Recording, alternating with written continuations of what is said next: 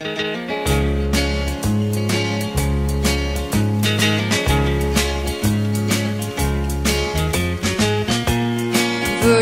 Kane is my name, and I drove on the Danville train till so much cavalry came and tore up the tracks again. In the winter of 65, we were hungry, just barely alive. I took the train to Richmond that fell. It was a time I remember oh so well.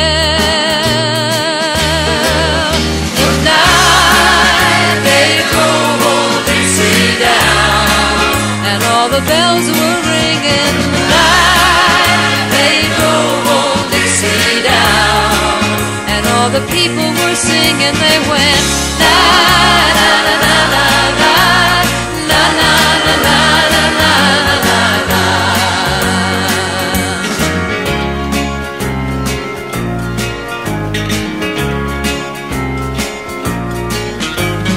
back with my wife in Tennessee. And one day she said to me, Virgil, quick, come see. Oh, there goes the Robert E. Lee. Now I don't mind, I'm chopping wood. And I don't care if the money's no good. Just take what you need and leave the rest. But they should never have taken the very best.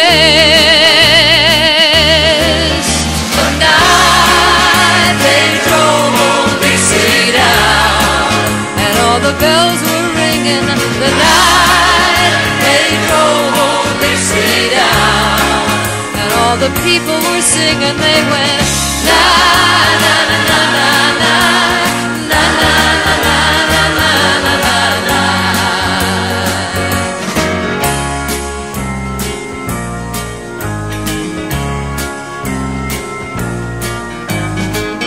like my father before me Working man. And like my brother before me, I took a rebel stand. Well, he was just 18, proud and brave. But a Yankee laid him in his grave. I swear by the blood below my feet, you can't raise the cane back up when it's in the feed.